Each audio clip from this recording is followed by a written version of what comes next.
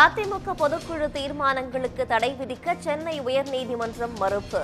எடப்பாடி பழனிசாமி இடைக்கால பொதுச் செயலாளராக தேர்வு செய்யப்பட்டதற்கு தடை இல்லை.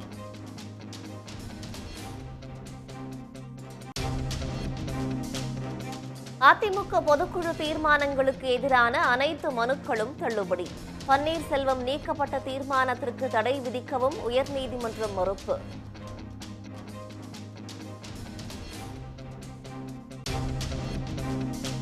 காவிரியில் இருபத்தி நான்காயிரம் கன அடி நீர் திறக்க கோரி தமிழ்நாடு அரசு தொடர்ந்த வழக்கு.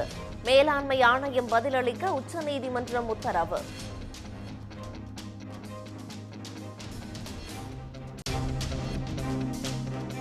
முப்பத்தோராயிரம் அரசு பள்ளிகளுக்கு விரிவாக்கம் செய்யப்பட்ட முதலமைச்சரின் காலை உணவு திட்டம்.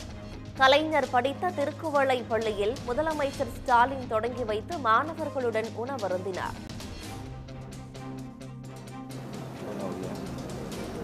விளையாடி விளையாட்டுலாம் உண்டா? என்ன விளையாடுவேன் என்ன பிடிக்கும்? என்ன நான் யார் தெரியுமா உனக்கு?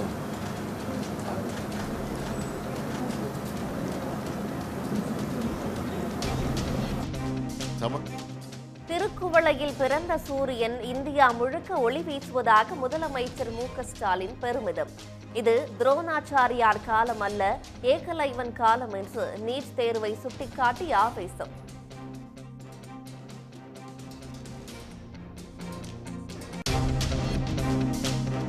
கோடநாடு கொலை கொள்ளை வழக்கில் கனகராஜின் சகோதரரின் குற்றச்சாட்டுக்கு எடப்பாடி பழனிசாமி மறுப்பு.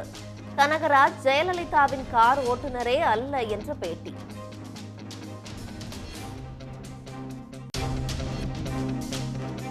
எழுபத்து ஓராவது பிறந்த நாளையொட்டி சென்னையில் கட்சி தொண்டர்களை சந்தித்தார் விஜயகாந்த்.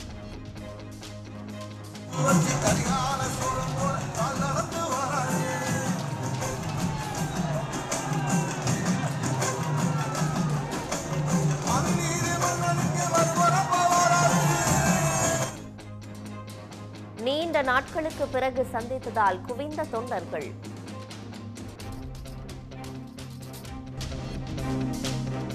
விக்ரம் லேண்டரில் இருந்து பிரக்யான் ரோவர் தரையிறங்கியது எப்படி? ரோவர் தரையிறங்கிய காட்சியை வெளியிட்டது இஸ்ரோ.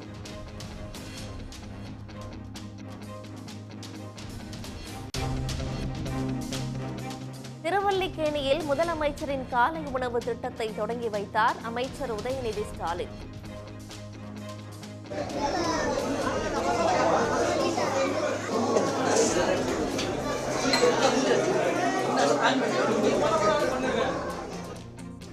தமிழ்நாடு முழுவதும் அமைச்சர்கள் சட்டமன்ற நாடாளுமன்ற உறுப்பினர்கள் பங்கேற்பு.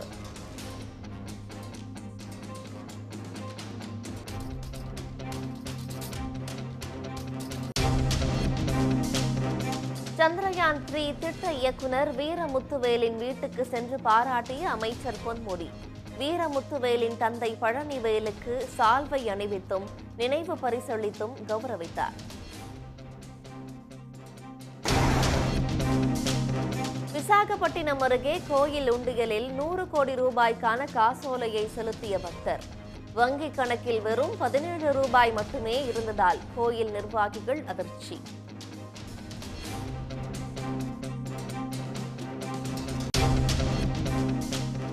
அமலாக்கத்துறை சம்மனை எதிர்த்து உச்சநீதிமன்றத்தில் ஜார்க்கண்ட் முதலமைச்சர் ஹேமந்த் சோரன் மனு. இரண்டு முறை சம்மன் அனுப்பியும் விசாரணைக்காக ஆஜராகாத நிலையில் வழக்கு.